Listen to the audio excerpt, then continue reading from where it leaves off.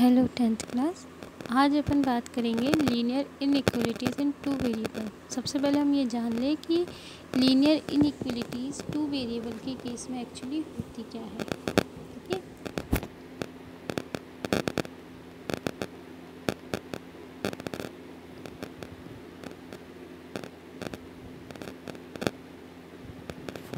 देखिए, हम फ़ोटो को थोड़ा सा जूम कर लेते हैं। आपको इजीली दिखाई दे। पहला स्टेटमेंट हमें लिखा हुआ है इन mathematical statement in which variable and sign greater than less than greater than equals to less than equal to are present called inequality यानी कि जब कभी भी आपको इक्वेशंस में इस तरीके से ग्रेटर देन लेस देन या ग्रेटर देन इक्वल्स टू या लेस देन इक्वल्स टू का साइन दिया हुआ हो तो ऐसे केस में आप ये मान लीजिए कि कहीं ना कहीं आपकी जो इक्वेशन है, उसमें इनइक्वलिटीज़ है। अगर ऐसा सिंबल आपके साथ सिंगल इक्वेशन में गिवन हो तो वो क्या हो जाएगी? क्या हो जाएगी? Single variable inequalities. और अगर यही चीज़ दो वेरिएबल्स के साथ में गिवन हो, जैसा कि आप क्या है, फिफ्थ लाइन में देख सकते हैं, two x plus three y is less than equals to six, है ना? और x plus y is less than equals to, less than four. तो ये दिया हुआ है, इट मीन्स इसे अपन क्या कहेंगे? टू वेरिएबल इनइक्वालिटीज़ ये तो हो गई बात। अब आती है कि इसको अपन सॉल्व कैसे करते हैं, कि इसे किस तरीके से सॉल्व किया जाता है। हाँ जी बेटा, देखो ये थोड़ा समझने वाली बात है। अपन आते हैं एग्ज़ाम्पल पे। जब कभी इस तरीके से, देखो इस एग्ज़ाम्पल में हमारे पास फ़र्स्ट जो इक्वेशन गिवन है one x is less than equals to two ठीक है? यानी एक्स जो है वो दो से छोटा या दो के बराबर होगा। तो अपन क्या मानेंगे कि x की वैल्यू किसके बराबर है? तो यानी मैक्सिमम x की वैल्यू कितनी हुई? दो, यानी टू और y की वैल्यू कितनी हुई? ज़ीरो क्योंकि अगर मैं y एलिमेंट नहीं दिया हुआ इट मीन्स उसकी वैल्यू ज़ीरो ऑटोमेटिकली मान लेंगे। अब अपन ने इसका क्या किया? जैसे अपने पास दिया हुआ नीचे फिगर में, हमने इसका एक लीनियर ग्राफ ड्रॉ कर लिया, जिसमें एक्स एक्सिस पे अपन ने लिया टू और वाई एक्सिस का अपन ने लिया ज़ीरो तो एक स्ट्रेट लाइन ग्राफ ड्रॉ हो गया तो इस तरीके से अपन इसको सॉल्व कर सकते हैं। सेकेंड इक्वेशन में टू वेरिएबल्स गिवन है।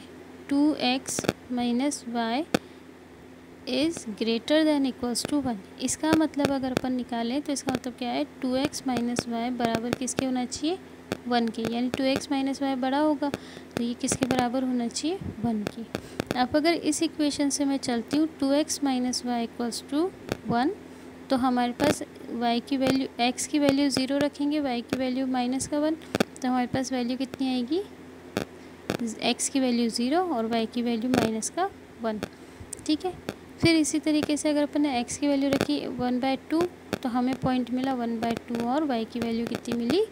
ज़ीरो तो इस तरीके से अगर अपन ने वैल्यू रखी तो हमारे पास दो वैल्यू बन के आई. एक हमारे पास पॉइंट बन के आया ज़ीरो माइनस वन और दूसरा पॉइंट बन के आया वन बाय टू ज़ीरो इसको अपन ने ग्राफ में रिप्रेजेंट किया, जैसा कि फिगर में दिया हुआ है, फोर पॉइंट ज़ीरो एट में, इस तरीके से अपन इसको ग्राफ में रिप्रेजेंट कर देंगे।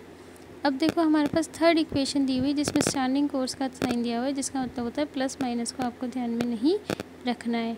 Y minus x standing course is less than equals to three इसका मतलब क्या होगा? एक्स माइनस वाई किसके बराबर होंगे? X minus y minus three किसके बराबर होनी चाहिए? ज़ीरो के बराबर होनी चाहिए या ज़ीरो से छोटे होने चाहिए? तो इस केस में अपन ने क्या किया? x minus y minus three equals to zero equation रख ली और एक बार इसी इक्वेशन का अपन ने क्या रख लिया? x minus y plus three, क्योंकि हमारे पास स्टैंडिंग कोर्स है, इसका मतलब प्लस माइनस दोनों से अपन इसको लेंगे। तो एक बार अपन ने इक्वेशन बनाई, x minus y minus three equals to zero और एक बार बनाई x minus y plus three equals to zero जब हमने दोनों से इसको सॉल्व किया तो हमारे पास वैल्यू आई ज़ीरो माइनस थ्री और ज़ीरो और थ्री और जब हमने इन दोनों को ही नंबर लाइन पे रिप्रेजेंट किया, जो कि अपन ने पीछे ग्राफ में देखा था कैसे करते उस तरीके से अपन इसको रिप्रेजेंट करेंगे तो हमारे पास इसका सॉल्यूशन बन के आ जाएगा। और इसी के साथ आपको एक्सरसाइज फोर पॉइंट टू करनी है। जो बिल्कुल सेम इन्हीं दोनों कंसेप्ट के ऊपर बेस्ड है, जो आपको ध्यान से करनी है। ये आपका आज का होमवर्क और बेटा आप लोग होमवर्क नहीं कर रहे हैं। प्लीज़ प्लीज़ प्लीज़ होमवर्क करो ताकि हमें पता लगे कि आपको समझ में कितना आ रहा है और कितना नहीं।